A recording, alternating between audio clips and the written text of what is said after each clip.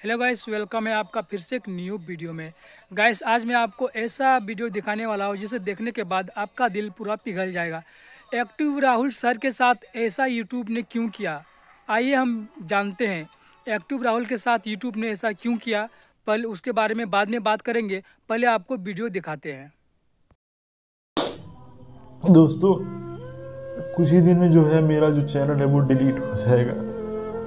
आप लोगों का हेल्प करने के लिए मुझे इतनी बड़ी कीमत चुकानी पड़ रही है। मेरा यूट्यूब चैनल जो है उस पर कम्युनिटी गाइडलाइन का जो है आ गया है। और तो गाइस वीडियो आपने देखा एक्टिव राहुल सर कैसे रो रहे थे?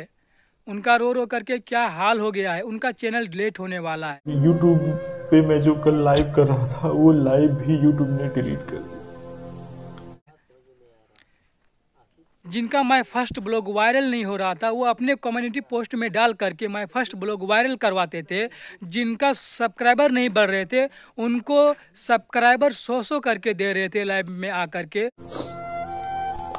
मैं आपको बताता हूँ आप लोगों की हेल्प करने के लिए मैं जब से मैंने अपना यूट्यूब चैनल ओपन किया हुआ है दोस्तों मैं तब से आप लोगों की हेल्प कर रहा हूँ। उसके सिवा मैंने कुछ नहीं। जो सबको हेल्प कर रहा है। आज उसको इतनी बड़ा सज़ा क्यों मिल रहा है? आज उसको इतनी बड़ी सज़ा क्यों मिल रहा है? मैं आप लोगों से हाथ जोड़ के विनती करता हूँ, जितने भी बड़े यूट्यूबर है, Saurabh Joshi, Manoj Dev test champion support मैं उन्हीं सब भी लोगों से अनुरोध करता हूँ प्लीज़ आप लोग अगर कुछ कर सकते हो तो एक्टिव राहुल सर के लिए कुछ कीजिए, उनका चैनल बचा लीजिए डिलीट होने से। और आप लोग इस वीडियो को इतना शेयर करो कि हर बड़े यूट्यूबर तक पहुँच पहुँच जाना चाहिए। क्योंकि एक्टिव राहुल सर सभी को हेल्प किया है, उनका हेल्प करना।